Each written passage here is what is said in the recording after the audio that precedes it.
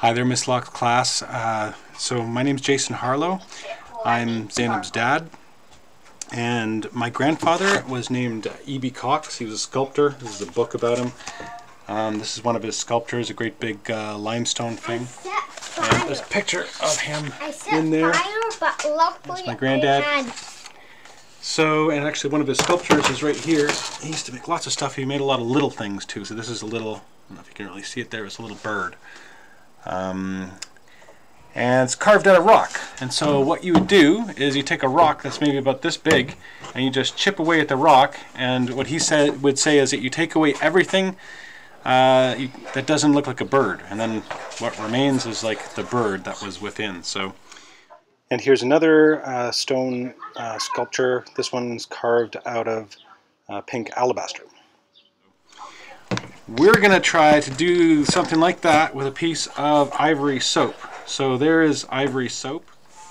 So the soap's what we're going to carve, and then various knives. So I don't want you to use a sharp knife. Um, a butter knife is, is perfect. It's very uh, very easy to, to cut this soap. Um, as you can see, uh, uh, you can also use even a paper clip if you want to try to make a little hole in it or something. Um, I'm going to make a hole in the middle actually, I think, using the, the paper clip. And you want some paper underneath because you're going to end up making a lot of little chips of soap. And you want to carve it into something. And I've got an idea of what I want to carve today, which I'll tell you in a minute.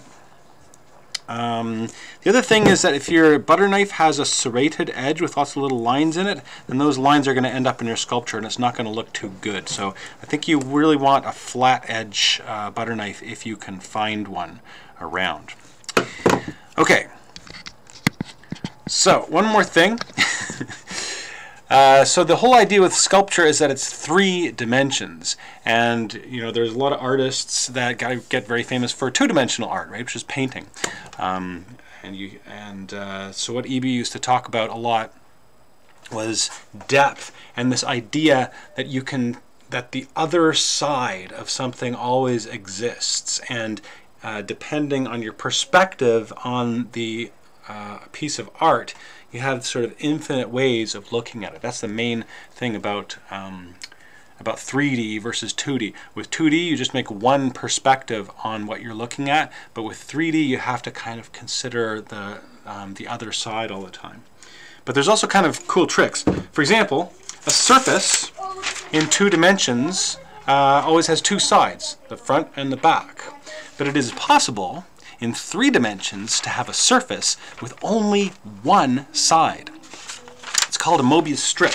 So what I want to do is make a Mobius strip today out of soap. So you can make a model of a Mobius strip uh, with a piece of paper, cut out a little strip. So you have a piece of paper and then you make it into a loop, but you give it a twist. Actually, it's a little too thick. Make it a little more thin kind of needs to be a long, narrow strip of paper. You give it one twist, and then take a piece of tape, and tape it. So what you've got is a piece of paper that if you run your finger along it only has one side. Put down here actually so you can see it. Um, so as you run your finger along you end up on the other side. It's one smoothly connected surface. So if you painted it, both sides are the same side. There's not two sides. So that's kind of cool. And I was able to actually carve it out of a piece of soap. So this is a piece of soap carved into a Mobius strip. Took me a little while. I had to get it kind of smooth, and there was a lot of extra soap. But you get the basic idea, right? You kind of carve it out. And one of the things that I was doing was I was using my model to try to help me you know, figure it out. And I had to cut out a middle part. And it just goes on and on. We can try to make another one here. And just try to imitate the actual shape you've got. And so sometimes, you know, I start with this side, try to make it more like the Mobius strip you're trying to make. And then if you want to do the other side, I kind of flip the model and flip the, the soap as well. So there's sort of this this thing going on there, which is that surface right there. I want to make that surface, right? And then there's some kind of twist that's happening in there. So I want to try to make the twist. And like I say, it gets a little messy. And I could maybe flip it like this, try to keep it oriented so that you can get that kind of Mobius strip thing. So when you're carving, it's very important not to cut yourself. That's probably the most important rule. So um, now these are, you really don't need a sharp knife at all to do, to carve soap. So use obviously a, a very, a very dull knife in the first place. Um, but if you're carving wood or something, if you have a very sharp knife, uh, a good rule, uh, which I saw my grandfather always do, is that you always cut away from your from your body. That should be um, sort of a habit for you.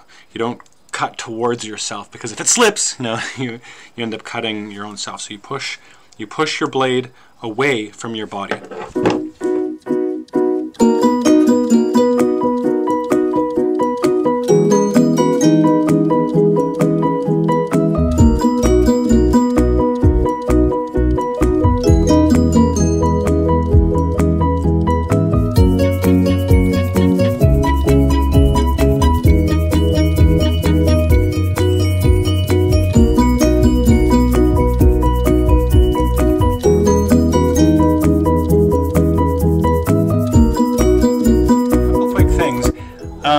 If you uh, break anything as you're cutting, um, you know, a big chunk comes off, there's really nothing that you can do except kind of change what you're trying to create. So it's art, right? So, um, you know, what you end up creating in the end is, is your choice. So every artist that I've ever known who makes a mistake in their art will try or attempt to kind of work that mistake into what they're doing somehow.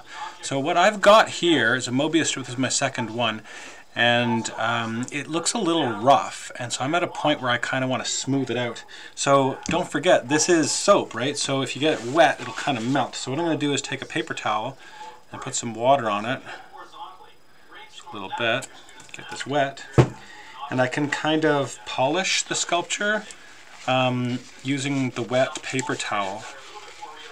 You end up with really, really clean hands when you do this project. But again, you got to be really careful that you don't break um, your sculpture when you're yeah. when you're polishing it. You, you had that problem, Raj? There's pulleys going on in the background there. Because this is yesterday. Okay, or this is Wednesday. Okay, and so as I sort of rub it with the wet uh, uh, paper towel really carefully, the whole thing gets kind of smooth and nice. And lastly, uh, one thing that you can do is you can take acrylic paint and you can paint them. And so that can be a fun thing to do. You can paint onto soap. And the paint also, if you use uh, that sort of a, uh, tube acrylic paint, um, it will help preserve this so that it doesn't leave soap marks where you put it or something and and it stays what it is for a very long time. What are you making, Raj? A whale. Ooh, he's making a whale. Okay, that's good. Okay, so it turned out to not be as easy as I thought it was going to be yeah. to paint this thing in acrylic, but there's my, my Mobius strip still drying. My whale's kind of... I think it's because my acrylic paints are a little old. But hopefully when that dries up, it'll give kind of a nice um, exterior finish to, to my sculpture.